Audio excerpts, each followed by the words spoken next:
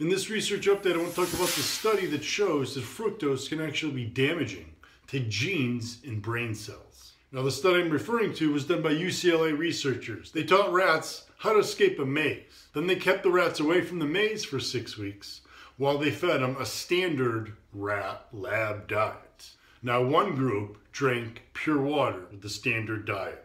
A second group drank fructose in their water. It was equivalent to an adult drinking about a liter of soda pop sweetened with high fructose corn syrup. And then there was a third group that got the same amount of fructose in their water, but their diet was fortified with DHA, the omega-3 fatty acid, docosahexaenoic acid. After six weeks of following the diet, the rats were allowed to run the maze again. The rats getting the high fructose diet took twice as long to run the maze as the rats getting the pure water. Now, the rats that had the DHA added to their diet ran the maze just about as fast as the rats getting the pure water, despite having all that fructose. So the scientists concluded that the fructose impaired the rat's memory, whereas the DHA, that omega-3 fatty acid, prevented that impairment that the fructose caused. Now, when they looked at blood levels of things like blood glucose, insulin, triglyceride levels, they also noticed a big difference. The rats consuming the high fructose well, as you expected, they had higher blood glucose levels, they had higher insulin levels, and they had higher triglyceride levels than the rats drinking just pure water. But the rats getting the fructose with the added DHA to their diet had no changes in these blood markers. And having elevated triglycerides, blood glucose, and insulin levels can lead to things like diabetes, obesity, heart disease. It's clearly not good.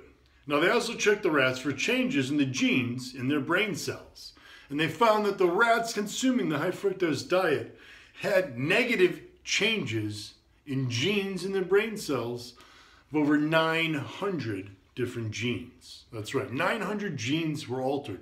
And these are genes that are comparable to humans. They're genes that are involved in metabolism, inflammation, and just normal cell communication and I know a thing or two about gene research as that was my main focus when I was at Yale School of Medicine, where we used both rat model and human model. So yes, these genes are very comparable to humans.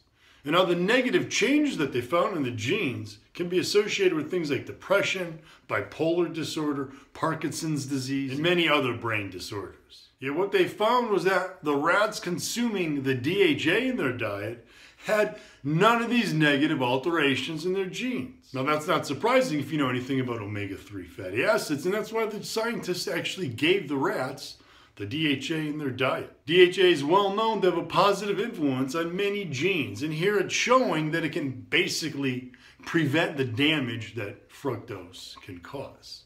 Now, am I saying that you should avoid all fructose in your diet? No. Look, okay, a few servings of fruit in your diet is not problematic, but again, fruit is 50% fructose. And remember, no matter what the source is, fructose is the problem. Fructose is a completely different structure than glucose. And glucose is what our body recognizes as the sugar that it uses for fuel. This diagram clearly shows that fructose is a five ring structure, whereas glucose is a six ring structure. The body has to restructure fructose into glucose before it can use it. The fructose that doesn't get restructured gets into cells, gunks up the cells, and causes damage.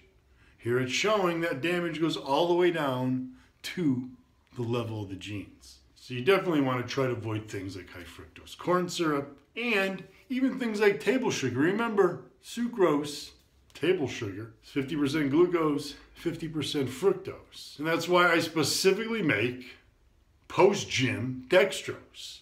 Removes the fructose Fructose, remember, can't be utilized by the body, so it's not going to be a good recovery sugar post workout. That's why I recommend pure dextrose. Plus, you don't have to worry about the damage that the fructose can cause. But you're not going to be able to remove all fructose from your diet, so don't kill yourself over how much fructose you consume. Yeah, limit your fructose intake. But the other thing you can do, like the research shows, is take enough DHA. And remember, I formulated Omega JYM to be the only fish oil that provides 1500 milligrams of DHA per day along with 1500 milligrams of EPA. And it's the only fish oil that also provides DPA. The third, omega 3. If you're not familiar with DPA, make sure you watch my other videos on DPA and read my other articles at JYM Supplement Science or my YouTube channel. And as always, guys, stay JYM Army strong.